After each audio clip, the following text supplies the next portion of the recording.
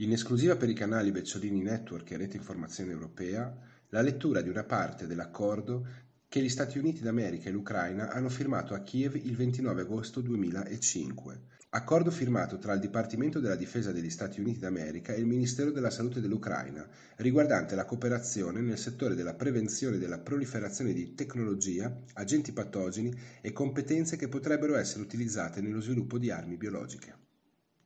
Articolo 1.1 al fine di assistere l'Ucraina nella prevenzione della proliferazione di tecnologia, agenti patogeni e competenze che si trovano presso l'Istituto di ricerca scientifica di epidemiologia e igiene di Leopoli, l'Ukrainian Scientific Research Anti-Plague Institute di Odessa, la Central Sanitary Epidemiological Station di Kiev e altre strutture identificate dal Ministero della Salute dell'Ucraina e che potrebbero essere utilizzate nello sviluppo di armi biologiche, il Dipartimento della Difesa degli Stati Uniti fornirà assistenza al Ministero della Salute dell'Ucraina a costo zero, soggetto alla disponibilità di fondi a tal fine stanziati secondo i termini del presente accordo.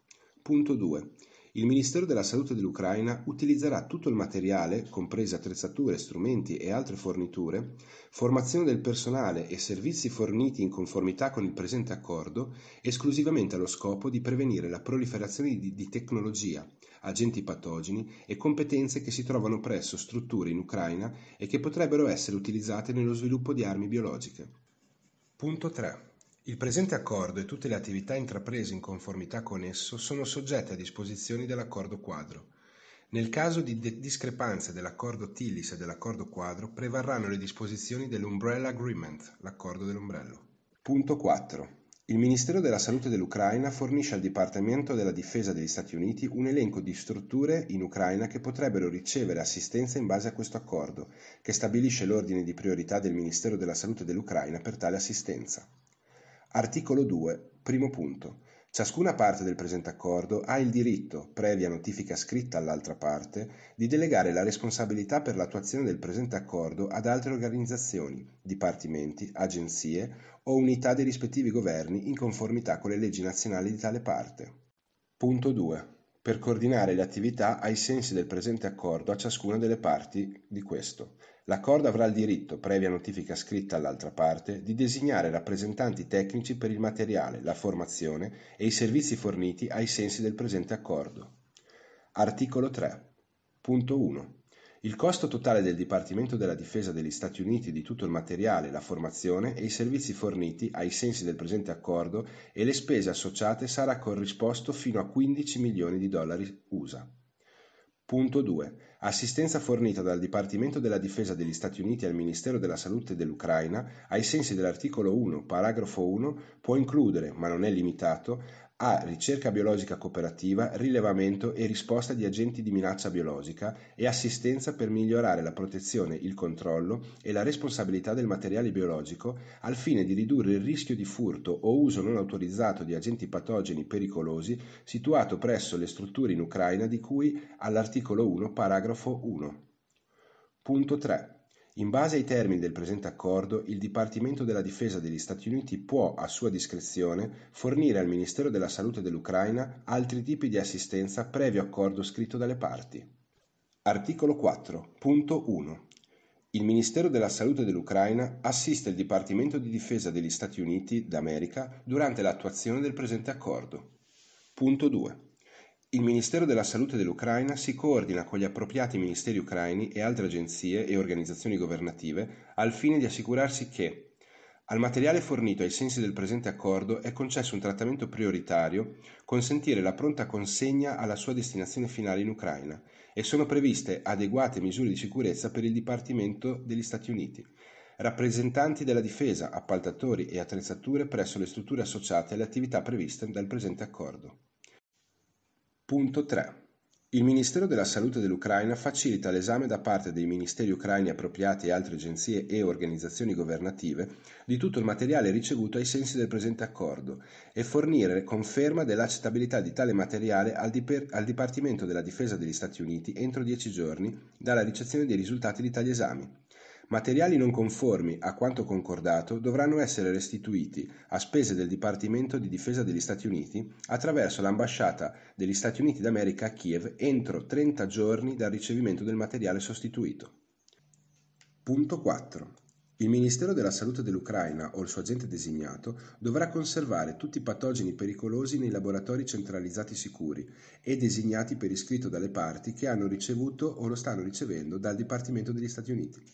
Il Dipartimento della Difesa degli Stati Uniti può fornire capacità di diagnostica molecolare, comunicazioni elettroniche migliorate e attrezzature per la sicurezza e la tempestività per il trasporto di campioni di patogeni ai laboratori centralizzati. Punto 5. Al fine di sostenere gli sforzi congiunti dalle parti per prevenire la proliferazione di agenti patogeni pericolosi e le relative competenze e per ridurre al minimo il potenziale della minaccia biologica, il Ministero della Salute dell'Ucraina trasferirà negli Stati Uniti, al Dipartimento della Difesa, copie di ceppi patogeni pericolosi raccolti in Ucraina per la ricerca biologica cooperativa nei laboratori centralizzati in Ucraina e nei laboratori designati dal Dipartimento della Difesa degli Stati Uniti per scopi profilattici, protettivi o altri scopi pacifici. Dettagli di tale cooperazione sono definiti in conformità con il paragrafo 7 dell'articolo 4 del presente accordo o in un accordo di attuazione ai sensi dell'articolo 4 del presente accordo. Il Ministero della Salute dell'Ucraina condividerà con il Dipartimento della Difesa degli Stati Uniti dati generati dalla rete di sorveglianza delle malattie infettive del Ministero della Salute dell'Ucraina o dei suoi agenti designati affinché le parti possano individuare meglio, diagnosticare e monitorare i focolai di malattie in Ucraina. Punto 6.